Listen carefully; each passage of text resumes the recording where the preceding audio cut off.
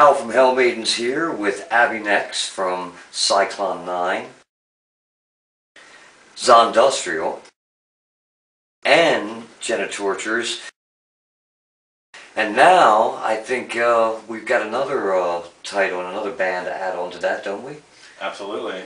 I hear that uh, some breaking news just today, Pretty fantastic news. Actually, it was just announced yesterday. yesterday. Um, uh, Combichrist has asked me to play guitar for them on this upcoming tour.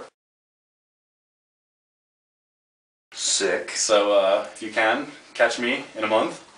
And uh, I think we'll be doing about nine North American Rammstein shows as well. Excellent. And you guys are going to be here in Baltimore, Maryland, Yeah, May 3rd, Bourbon Street. Bourbon Street at the Calder. So you guys got to make sure you come out and see that show. Thank you.